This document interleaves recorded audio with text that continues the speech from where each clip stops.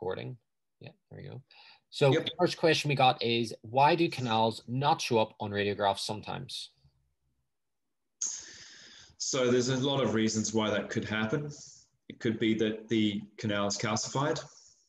It could be uh, that the angle of your radiograph doesn't allow the canal to be shown up.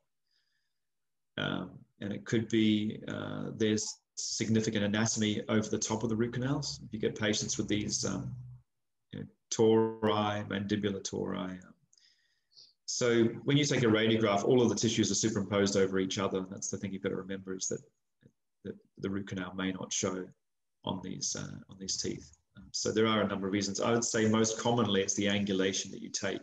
And I suspect on that, that uh, canine, I probably didn't do the best angulation I could.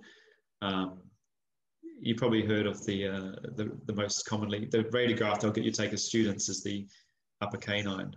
Um, so that's the hardest radiograph to take. So it's quite difficult to get a good angle on that. So that would probably explain it. I probably didn't take a, an angle that was very good uh, for, for showing the canal.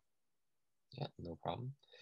Uh, the next one was can you repair small pulpal floor uh, vertical perfor- perforations with GIC composite if MTA not available? The answer to that is no, because the bonding to, um, so first of all, GIC breaks down. That's how it releases fluoride. Um, and it's not a good material for apical surgery, nor is it good material for perforation repairs. Um, we'd all like to think it is because it's there and everyone has it. Uh, it bonds to dentine, but it does break down over time. So I would say I was going to I was going to mention this, but I didn't want to confuse everyone. But anyway, MTA is like the gold standard material. Uh, biodentine or bioceramics are the, are the second or the it's the same, I would say. Um, but MTA's got the research behind it. Um, bio, bioceramics is fairly new, but has been shown to be just as good. Um, there's a couple of things about those products I'll get into. MTA has much better radio opacity. Um, that's got to do with bismuth oxide. However, bismuth oxide is, is, is the cause of staining, uh, thought to be the cause of staining. So it'll show really well on the radiograph when you do use MTA, but it might be a cause for staining. Uh, if it mixes with blood, it definitely will cause staining, graying of the tooth.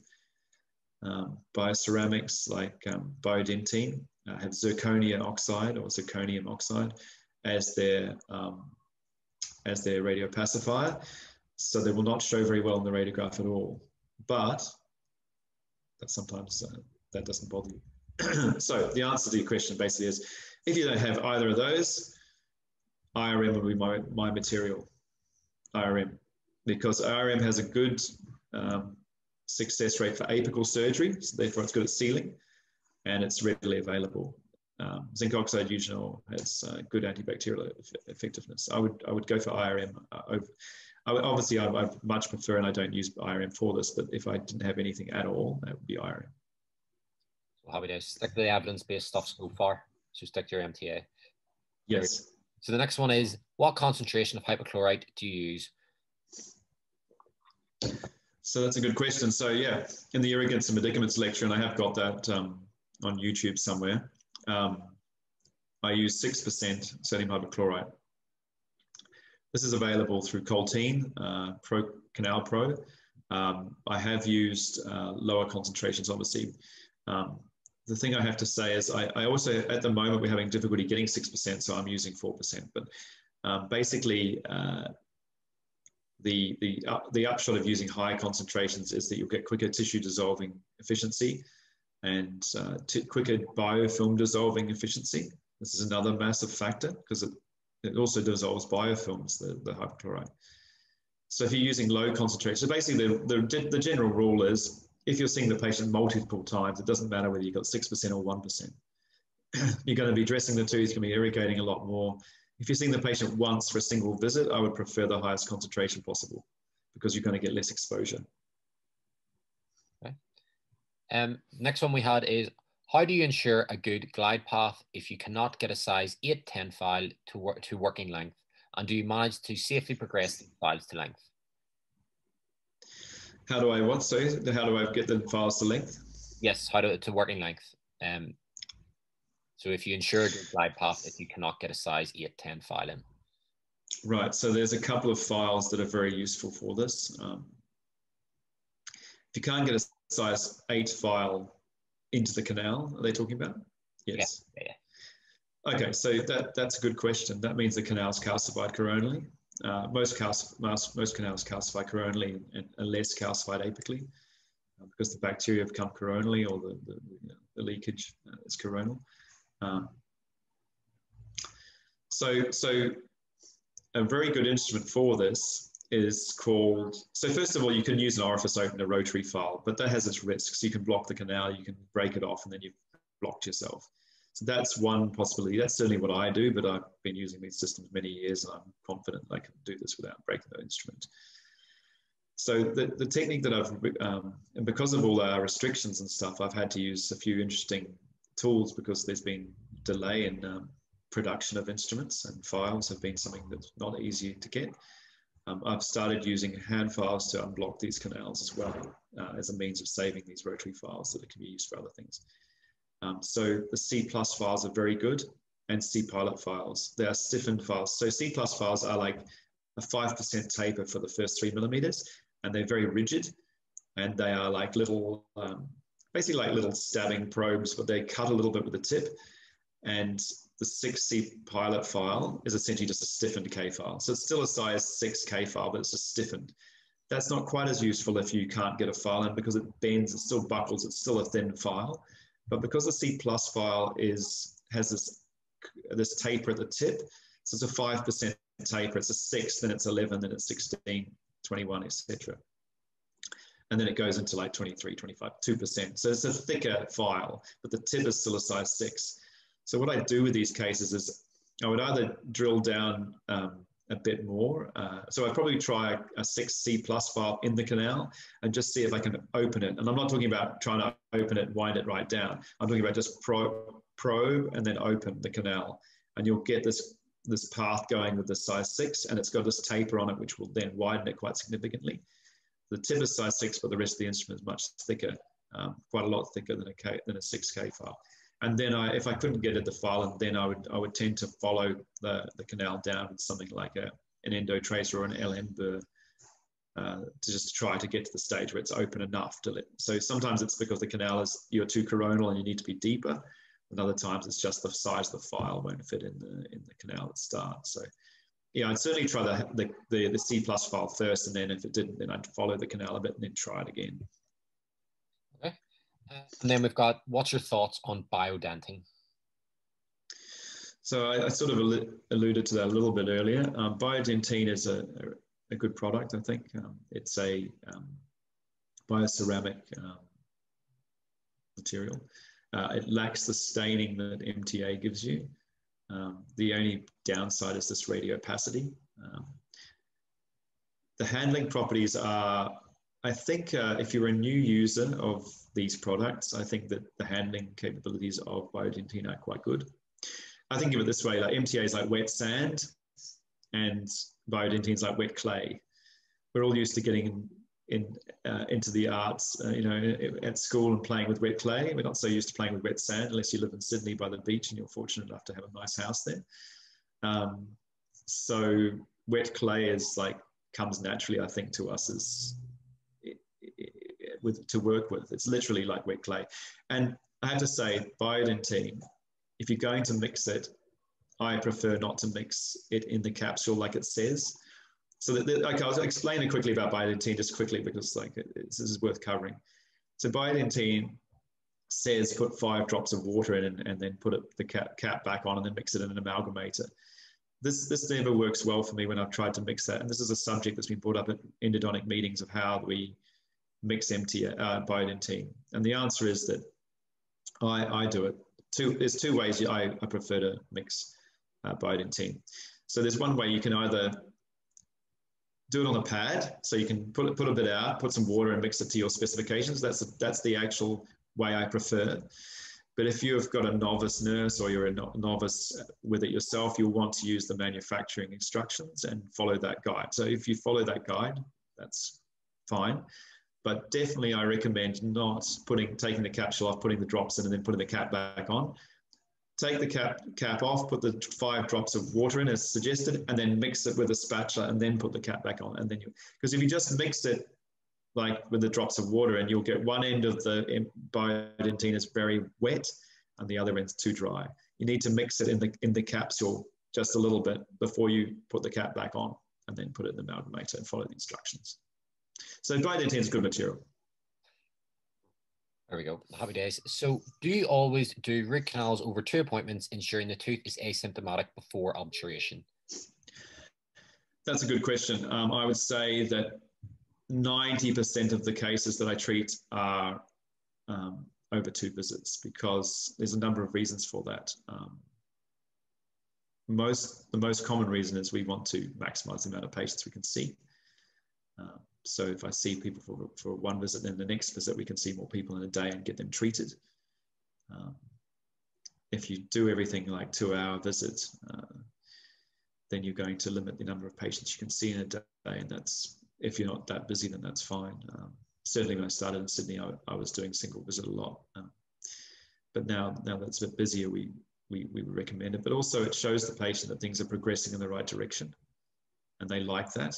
Um, so I would say single visit is for those cases where there's a couple of ways that reason I do single visit. One is like if the patient's getting an uh, antibiotic cover, if they're an IV sedation case, I'll try and do single visit. If they're a, a G, GA case, you know, special needs uh, situation where they're not going to be able to come in very much, um, that's where I'll try to do single visit. Um, but multiple visits is my go-to because you can see the patient can see progression and healing and they're just more happy. Um, I think that's really important. It's more like management of the patient and the problem, and the patient sees results from what you've done. And also, the other thing that patients don't like is that you can get flare ups whether you do one visit or two visits. Don't get me wrong, you can, it doesn't matter whether you do one or two visits, but you'll get flare ups.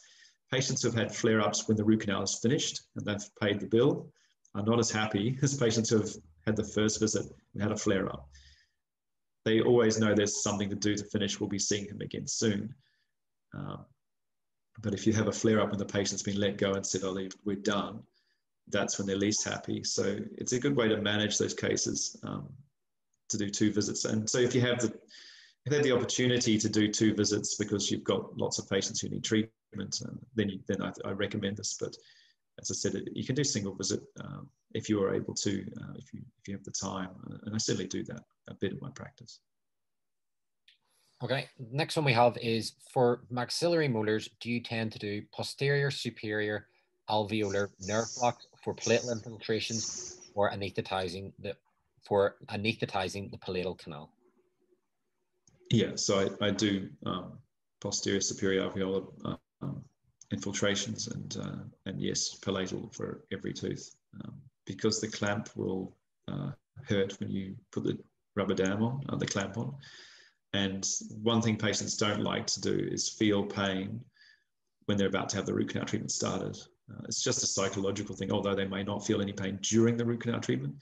Uh, as soon as you put that clamp on the tooth and that pinches, they will get upset.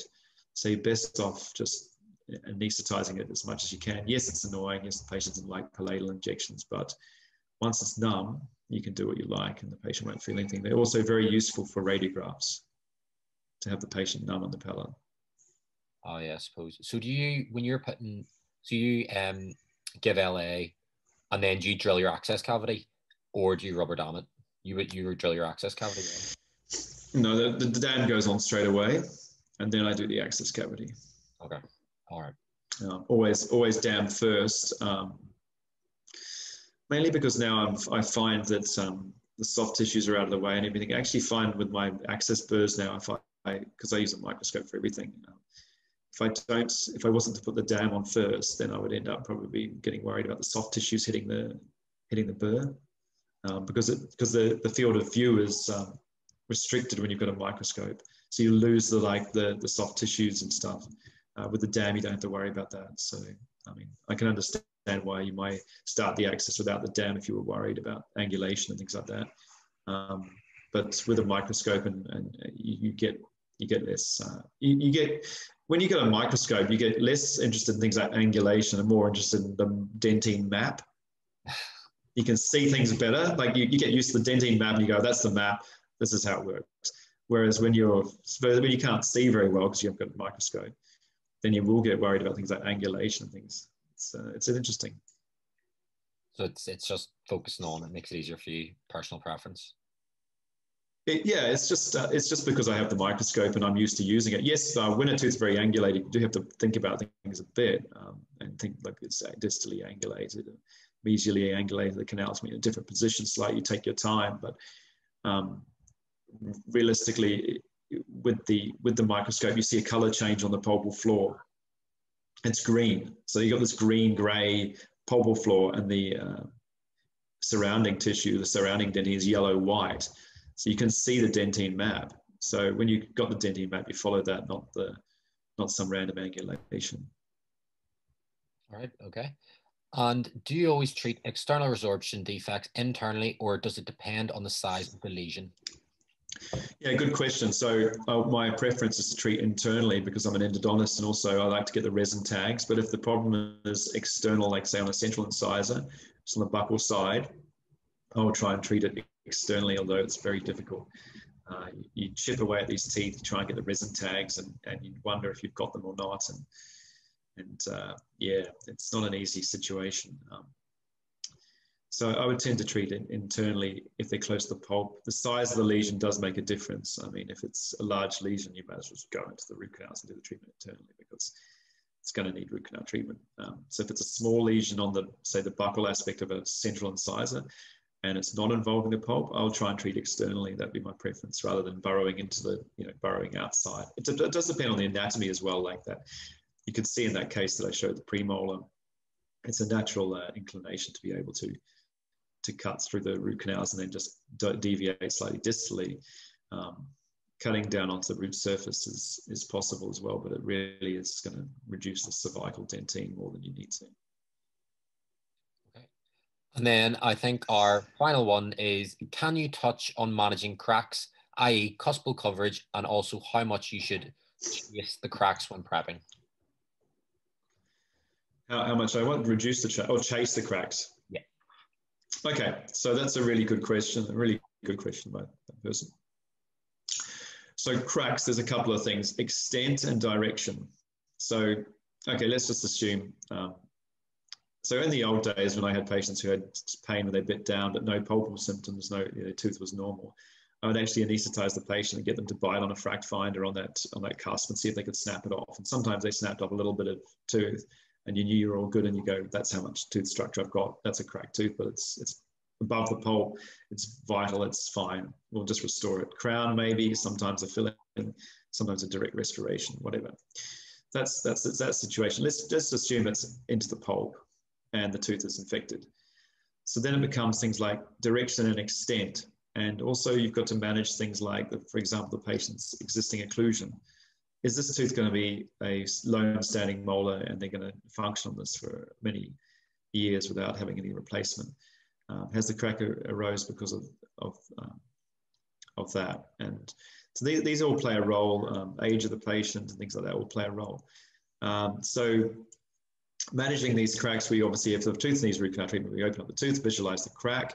Uh, if the crack is on the pulpal floor, I will say to the patient, there's no way the crown can hold your tooth together because it's on the pulpal floor. Sorry, we'll have to extract the tooth. Uh, if it's not on the pulpal floor, then I will, um, and then we really need to save the tooth, and it's critical. I will um, medicate the root canals and uh, do the full preparation to make sure there's nothing uh, left to chance. Um, fill up the root canals with calcium hydroxide, and I'll place an IRM base uh, because it's the best sealing temporary we have. Um, an orthoband and fix that with GIC, and the and the access cavity I'll put the rest of the access cavity GIC, and then I'll reduce the occlusion, and I'll say to the patient, come back in six uh, six weeks. And if you've uh, if you can chew on the tooth and those symptoms are all gone, then you can then you can uh, then you can uh, have a crown and finish the treatment. Um, so that's basically the way I do it. If the patient cannot function on the tooth, then it's unfortunately going to need extraction. And also, if the tooth gets reinfected through the crack, then you know that there's reinfection going on. Like they often say to you, yeah, when you cleaned up the tooth a bit sore for a day or two, then it was great for like three or four weeks. I could chew on everything, and then it got sore again. That's reinfection through the crack. And if you've done the full preparation, that's why I do the full preparation. You know that it shouldn't be like that. And then again, you say, oh, it's probably getting reinfected through the crack. And that's again a reason why I use IRM. Uh, it's a good temporary material and it will seal it. Um, so chasing cracks, I don't chase cracks at all. That's not a good thing to do because you're just removing tooth structure. And it's no good if you chase a crack and then say, oh yeah, it stops there and, and it was okay, but you've removed some more tooth structure. So chasing cracks isn't something I never do. I do want to visualize some kind of idea of the extent. So I won't be doing micro uh, access and I'll be doing an access which I can see the, extent just to visualize it. So I've got pictures for the patient. And, and this is where that uh, this is where that TV comes in very useful. You just show the patient, this is your tooth, it's cracked. Patients don't understand if you say, your see this cracked, I can't save it, looks really deep, see you later. They don't like that. They like to say, he opened it up and he showed me a photo and the crack was really bad and it looks on the, you know, it's the longer pole before. And he's, he's, they like, they like that. They like your honesty. You've opened it up. You've, you know, obviously you have to charge them for the, for the, for the treatment and that's, um, they want to feel they got value out of that appointment. So you, you, you you did something for them, you looked inside, you took some photos, you, you, explained everything. And I'll even go as far as explaining a little bit about what they can do to replace the tooth. Um, you could have an implant, you know, it will last you maybe 10, 15, 20, whatever years I think might be possible.